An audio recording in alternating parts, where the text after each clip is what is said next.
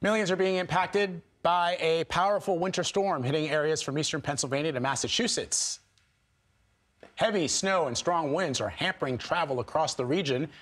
New York and Boston might see the most snowfall in about two years. So for more on the forecast, let's bring in meteorologist Molly McCollum from our partners at the Weather Channel. Molly, good morning. Good morning, Anne Marie. We have our first winter storm warning in New York City in, in two years. It's going to be a mess for your commute this morning into the first part of the afternoon as heavy wet snow is falling, especially in New York over to Hartford and then out towards portions like Martha's Vineyard, where you're not only seeing some snow, but you're also seeing very strong winds. Here's the good news with the system. It's lifting out of the area very quickly. And by this afternoon, this evening, we don't have any more snow, but we still have the wind, and that could still cause some problems. So how much snow are we talking? Seeing the biggest amounts and the highest amounts out towards portions of the Cape and down towards New York City. We could see at least half a foot of snow in some areas, depending on we see the strongest snow bands set up. Here's a look at the winds. This could cause some power outages, especially in combination with the heavy wet snow and also some coastal flooding as we see a strong onshore push of water. But even as this low pressure system moves out, we're still seeing extremely strong winds out towards areas like Nantucket, where even by this evening, we're talking 30 mile per hour wind speeds that could still be causing some problems with some power outages. And speaking of some of the coastal flooding, we're going to be watching out for that today, not only with the wind speeds, but in areas that we're not seeing snow, we're seeing a lot of rain. So runoff could be a concern. And for more in-depth coverage, you can watch the Weather Channel on cable or live on your favorite TV streaming devices. Anne Marie, back to you. All right, Molly, thank you. Well, CBS News New York reporter Tony Sadiku is in Westchester County where the snow is just coming down. Oh my God. I mean, I gotta say, it looks pretty, but what does it feel like out there?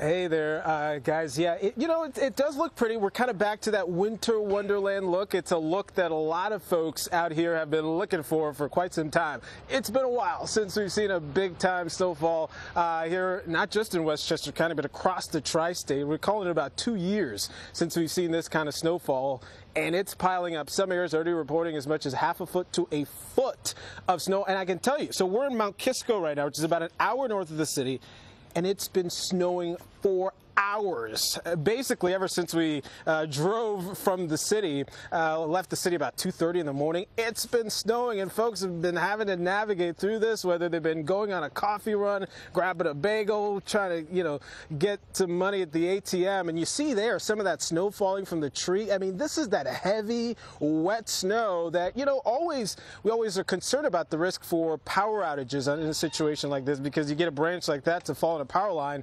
Uh, it's, you you know, can certainly turn off the power. And we've seen plow trucks just like this crisscrossing the area trying to navigate, um, you know, this snow and clear it out because, you know, they'll, they'll move through and then there'll be additional snow. And crews have been working the sidewalks too.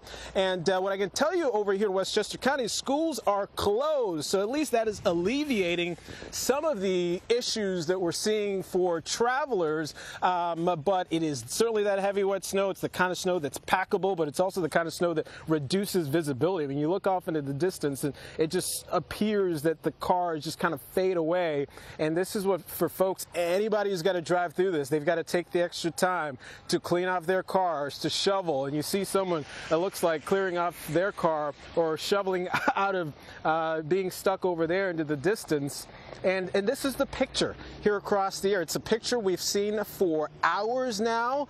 Uh, you know, it's a Tuesday, so people have places to be, uh, but we're just encouraging folks to be safe out here, you know, to, to manage the snow as uh, safely and quickly as possible. Obviously, dressing light, stretching before, because it's the kind of snow that you don't want to wait until it all piles up before you shovel it, uh, because it, it, it really, we call this the heart attack snow. It's the snow that, that, that can really, uh, that can really uh, become dangerous, not just for travelers, but to clear it up as well.